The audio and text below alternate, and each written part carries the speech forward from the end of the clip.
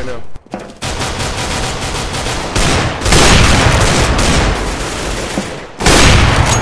Oh, that was mine, dude. I missed him.